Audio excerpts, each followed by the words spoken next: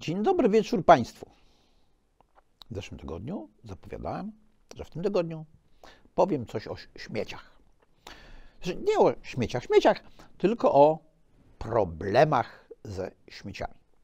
Pewnie się łatwo domyśleć, co jest pretekstem, albo co było pretekstem, że chce mi się o tym poopowiadać.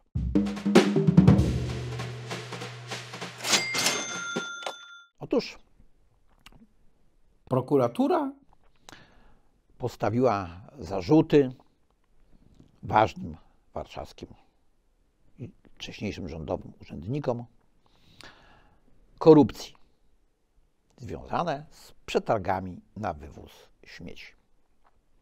Ja oczywiście w zarzuty prokuratorskie to za bardzo nigdy nie wierzę. Zwłaszcza w sprawach gospodarczych, zwłaszcza sprawach z nutką polityczną. Znaczy, generalnie rzecz biorąc, prokuratorom to wierzę mniej niż przypadkowo spotkanym na ulicy psom. Ja nawet czasami to nie bardzo wierzę sędziom, którzy ludzi skazują. Albo przynajmniej wsadzają ich do aresztu tymczasowego.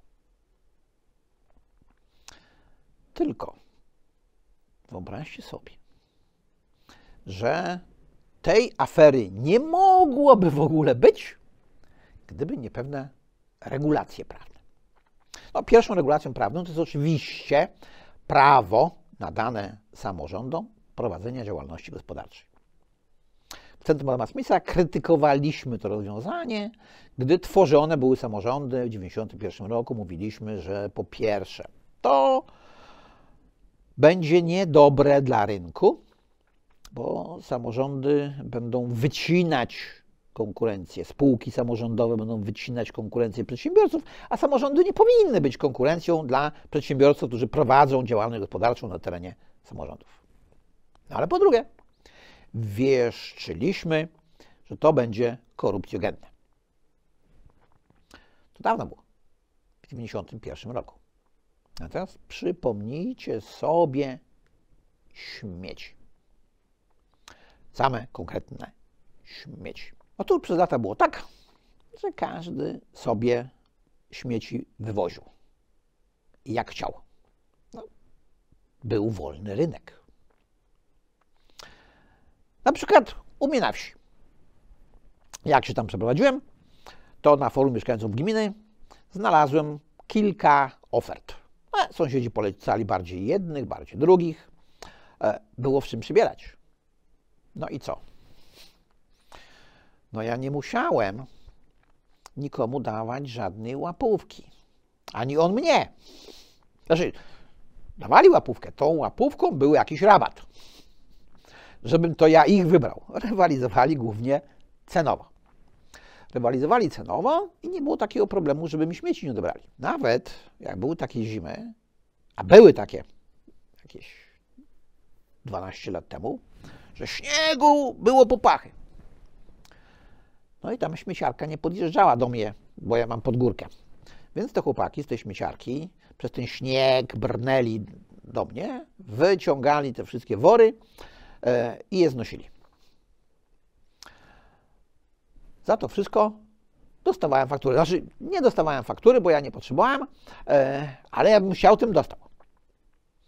No bo tam u nas na wsi wiele osób prowadzi działalność gospodarczą, w związku z tym wywóz śmieci może sobie w koszt wrzucić. No a ja nie prowadzę tam działalności gospodarczej, więc nie bardzo mogłem. Faktury nie potrzebowałem. No i nagle, tak gdzieś koło roku 2011 pojawiło się mnóstwo artykułów prasowych, medialnych, jak to wstrętni ludzie wyrzucają śmieci do lasu. Zatrzęsienie. Jakby zaczęli je wyrzucać właśnie wtedy. I nie wyrzucali ich wcześniej, a zawsze je wyrzucają. Jak się koło mnie idzie do lasu, to te kupy ze śmieciami y, są w tych samych miejscach, czasami je zmieniają, ale generalnie rzecz biorąc, tych śmieci jest tyle samo. Tymczasem regulacje nowe wprowadzono po to, żeby ludzie nie wyrzucali śmieci do lasu.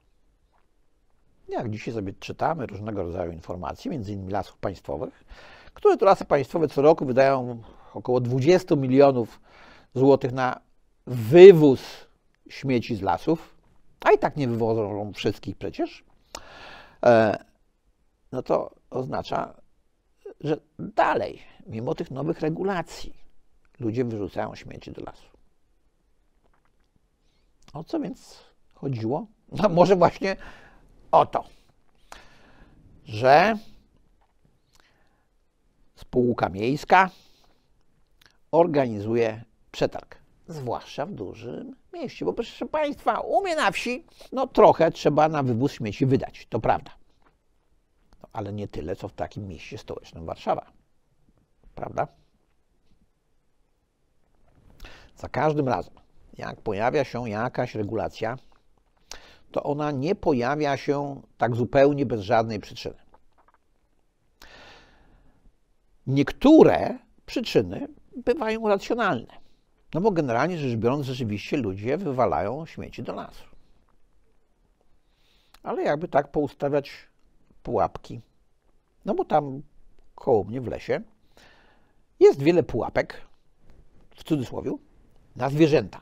Są zastawiane tam, gdzie te zwierzęta dzikie sobie chodzą. Pewnie z tych 20 milionów, co to lasy państwowe wydają na e, sprzątanie tych śmieci, jakby tak parę milionów przeznaczyły na ustawianie tych pułapek w tych miejscach, gdzie potencjalnie najłatwiej wyrzucić śmieci, to biorąc pod uwagę kary za nielegalny wyrzut śmieci, to z całą pewnością można zaostrzyć, można podnieść, by się zbilansowało i to bardzo szybko. No bo ci ludzie rzeczywiście śmiecą. To widać nie tylko w takich lasach, proszę Państwa. Ja w Tatrach kilkakrotnie brałem udział w takiej akcji Czyste Tatry. I tam się szło na jakiś szlak z torbami i zbierało śmieci. Niebywałe rzeczy tam ludzie zostawiają. Niebywałe, naprawdę, w charakterze tych śmieci.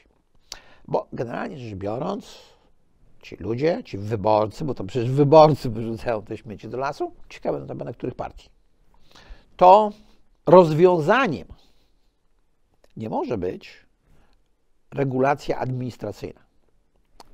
E, podziec jest prosty. Kara. Ale nie sama wysokość kary, tylko jej nieuchronność. A żeby była nieuchronność kary za nielegalny wywóz śmieci do lasu, no to trzeba zastosować w końcu te rozwiązania techniczne, które dziś są, żeby można było sprawdzać te numery rejestracyjne tych, którzy tam do tego lasu wjeżdżają. No oczywiście mogę sobie wyobrazić sytuację, że ktoś te numery przed wjechaniem późnym wieczorem o zmierzchu do lasu sobie zasłoni, żeby nie było widać. E, ale może tak się zdarzyć że będzie widoczna naklejka z numerem, która jest na przedniej szybie. Może ktoś z sąsiadów pozna człowieka, który z tymi śmieciami przyjechał. No. Ludzie generalnie e, nie są tacy idealni, nie są tacy dobrzy. Tylko, że my zrobiliśmy wielką akcję pod tytułem Ludzie śmiecą w lasach nie po to, żeby oni nie śmiecili, tylko po to, żeby upaństwowić śmieci.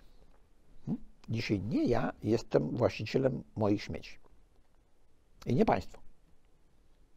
Właścicielami tych śmieci są organy samorządu terytorialnego. W momencie, kiedy wrzucam butelkę do zbiornika na śmieci, to ona już nie jest moja.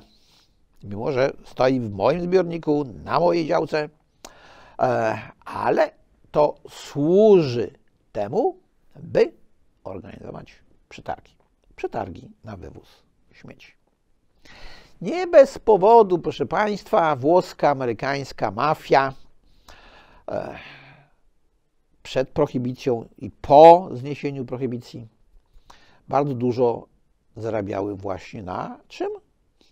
Na śmieciach. no i na praniach. Tak, tak? Tak? Dzisiaj się mówi pranie brudnych pieniędzy. Ta nazwa nie wzięła się znikąd. Ta nazwa wzięła się stąd, że mafie nowojorskie żyły z pralni. No i tam e, generowały przychody, które tak naprawdę nie generowały, e, które pochodziły z handlu na przykład narkotykami albo alkoholem, kiedy była prohibicja e, i musieli to jakoś zalegalizować. No i dlatego robili to w pralniach. No bo jak przypilnować, ile tu rzeczy w tej pralni wyprano? Ile przywieziono, ile wywieziono? Stąd to pojęcie. Są takie obszary, na których mafia się świetnie czuje i świetnie funkcjonuje. Są takie obszary, dzięki którym, dzięki którym korupcja świetnie kwitnie. Kwitnie korupcja przy zamówieniach publicznych. No więc jeżeli mamy zamówienie publiczne na wywóz śmieci, to istnieje dosyć duże prawdopodobieństwo, że ktoś będzie zainteresowany. No bo skoro ludzie, źli ludzie, wrzucają śmieci do lasu, to jakżeż przypuszczać, że w różnych firmach i spółkach miejskich nie ma równie złych ludzi, którzy to prawda może nie wyrzucają śmieci do lasu, ale by chcieli zarobić na wywozie tych śmieci. A jak jest jakaś konkurencja, no to wiadomo, że lepiej jest dostać takie duże zlecenie jedno, niż się chrzanić z pozyskiwaniem klientów. Proszę zwrócić uwagę, że wtedy, wprowadzono te przepisy, to protestowały malutkie firemki. Na przykład ten mój sąsiad, co to ode mnie te śmieci wywoził. Był z tego powodu niezadowolony, musiał zwinąć biznes, który mu tak miarę przyzwoicie funkcjonował. No bo on nie był w stanie stanąć do przetargu gminnego. On mógł obsłużyć e, kilkadziesiąt gospodarstw, ale już nie kilkaset. A przecież, jak się organizuje taki przetarg, no to zazwyczaj wygrywa go jedna firma, albo może dwie, jak jest bardzo duży. W małych gminach to nie ma co dzielić. W dużych, owszem, jest. Można dzielić rynek i można dzielić pieniądze, które z tego tytułu się pojawiają. Że one się pojawiają, to jest jak amen w pacierzu. Bo skoro ludzie wyrzucają śmieci do lasu, to na pewno są też tacy ludzie, którzy dają i biorą łapówki.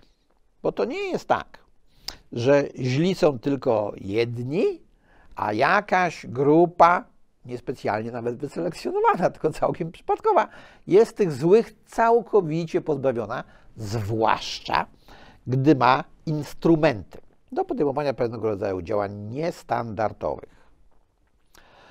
Czy jest jakaś szansa na to, żeby coś z tym zrobić? No, ja od początku twierdziłem, że e, gminy nie powinny móc prowadzić działalności gospodarczej. Gminy powinny być zleceniodawcą. Góra. Tylko, że w naszych samorządach, w wielu, zwłaszcza w Polsce B, pojawiły się różnego rodzaju układy, układziki, do których ludzie jakoś się musieli dostosować. I się dostosowali. I dzisiaj to jakoś funkcjonuje. Funkcjonuje może nie zbyt legalnie, może nawet bym powiedział nielegalnie. Może na bakier z zasadami moralności, ale funkcjonuje. A że to na bakier z zasadami moralności i zasadami prawa, to jest jednak wina ustawodawcy. Tego, który tworzył przepisy o samorządzie terytorialnym i upoważnił samorząd terytorialny do prowadzenia działalności gospodarczej.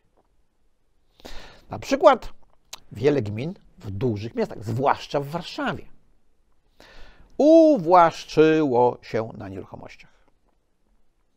Więc największym właścicielem nieruchomości w mieście stołecznym Warszawa jest miasto stołeczne Warszawa.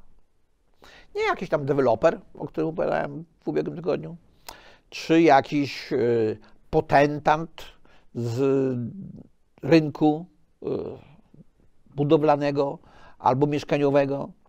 Nie, nie. Miasto stołeczne Warszawa. Ono ma swoje zasoby, którymi dysponuje jak? Po uważaniu. No bo trudno to określić inaczej. Zresztą w nawiązaniu do tego, co mówiłem w ubiegłym tygodniu, e, czyli o tym programie Mieszkanie prawem, e, działa to w podobny troszkę sposób. Otóż jak lewica, to taka bardzo lewica, chce sama budować mieszkania, to będzie musiała je rozdawać według jakiegoś klucza. Bo kredyty, które chce rozdawać za 2% PiS albo za 0% Platforma, no to jest łatwo dać. Tak? Można wystawić prostą cezurę. Powiedz tak, e, każdy,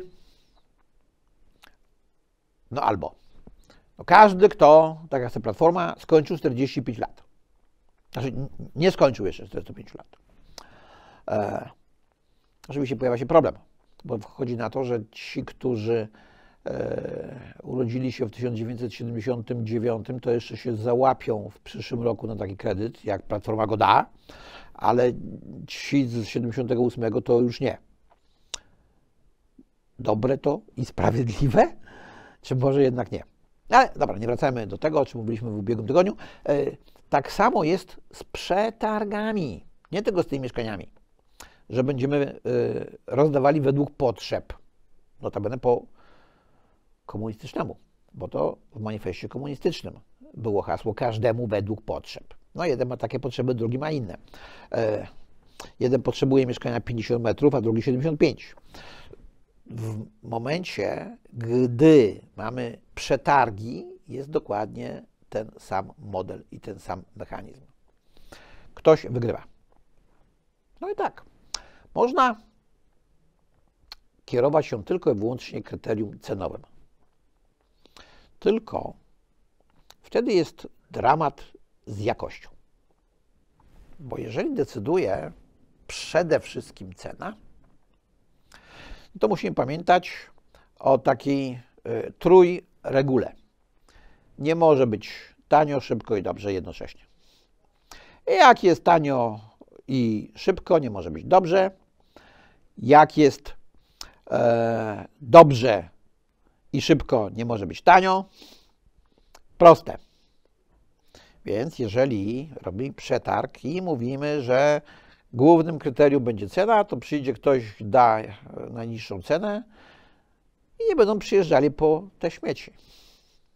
Jak to często się zdarza. Trzeba organizować nowy przetarg e, albo dać jeszcze firmie zlecenie z wolnej ręki. To jest często stosowany motyw w zamówieniach publicznych, proszę Państwa. E, coś już zrobili, e, nie dokończyli, e, no i wtedy, żeby dokończyć, no to już nie można organizować następnego przetargu, przecież to się rozezna, kto się zorientuje. Nie można zwlekać, no bo przecież te śmieci nie mogą stać i czekać, aż ten nowy przetarg zostanie zorganizowany. Buch! dajemy zlecenie dodatkowe. Tanio to z definicji podejrzane. A nie wiem dlaczego polski ustawodawca upiera się, że to właśnie kryterium cenowe ma być tym najważniejszym w zamówieniach publicznych, a już w szczególności upierają się przy tym kryterium ci, którzy dokonują zamówień publicznych. No bo ustawodawca to on jeszcze pozostawia jakieś ramy wyboru.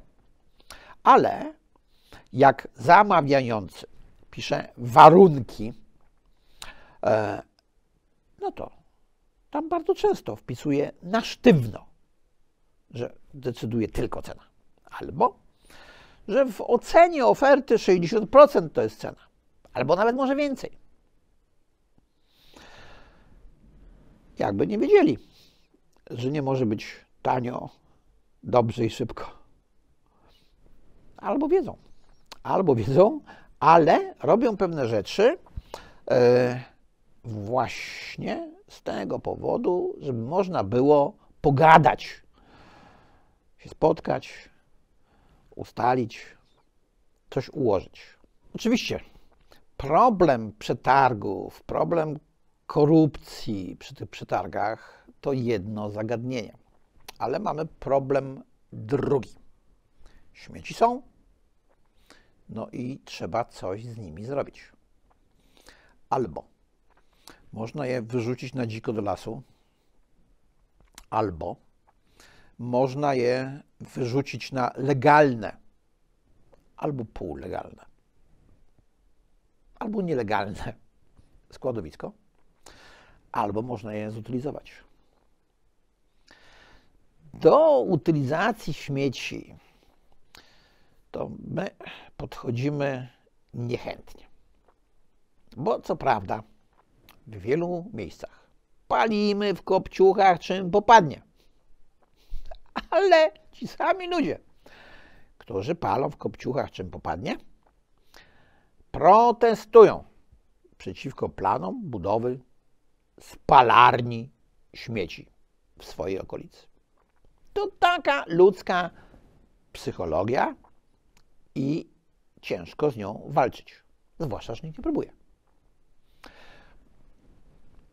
Inwestycje w utylizację nieczystości, odpadów, zwłaszcza niebezpiecznych, są bardzo utrudniane. Mało jest jednak artykułów na ten temat. Już na pewno nie tyle, ile było kiedyś, że ludzie wyrzucają śmieci do lasu. No bo to ktoś wyda swoje własne pieniądze. Pole do korupcji małe. To może dlatego. No i pole do zarobku też nie takie duże. W odróżnieniu zupełnie od na przykład wiatraków. Proszę Państwa, ileż to artykułów o tym, że wiatraki trzeba stawiać blisko siedlisk ludzkich. A w ogóle nie ma artykułów o tym, że e, może nie tak blisko jak wiatraki, nie 500 metrów od czyjejś chałupy, tylko trochę dalej. Trzeba móc postawić jakąś spalarnię śmieci, która będzie oczywiście spełniała pewne normy. Więc problem śmieci jest problemem kompleksowym, który wymaga kompleksowych rozwiązań. Ale z całą pewnością nie mogą być to rozwiązania takie, które przyniosą korzyść komuś konkretnemu. Bo przypomnę, że warunkiem praworządności, a przecież Polska jest demokratycznym państwem prawnym urzeczywistniającym zasady sprawiedliwości społecznej, zgodnie z artykułem 2 Konstytucji, prawo musi być ogólne, czyli nie może być stosowane do jakichś konkretnych grup. Często jest u nas inaczej. I to prawo jest stosowane w interesie jakichś konkretnych grup, a nawet stanowione jest w interesie różnych konkretnych grup. Trzeba jednak połączyć jedno z drugim. Zacząć od tego procesu, od którego zaczęto. Kto jest właścicielem śmieci? Skoro już uznano, że to gmina jest właścicielem moich śmieci, jak ja je wyrzucę, e, no to teraz zakończmy ten proces i doprowadźmy do tego, żeby zlikwidować tak zwaną lukę inwestycyjną, bo o tym mówią przedstawiciele branży. Luka inwestycyjna to jest luka między zapotrzebowaniem na e, utylizację odpadów, a technicznymi możliwościami utylizacji tych odpadów. To prawda, jak niektóre bogate kraje, moglibyśmy wysłać te nasze śmieci do Afryki i zapłacić. Problem polega jednak na tym, że my te śmieci importujemy. Czyli nas niektórzy traktują jak Afrykę. Śmieszne to jest bardzo, mimo że to straszne jest jeszcze bardziej. Kto jest temu winny? No, natura ludzka po pierwsze. wyrzucamy śmieci do lasu. Nie chcemy mieć nowoczesnych spalarni w okolicy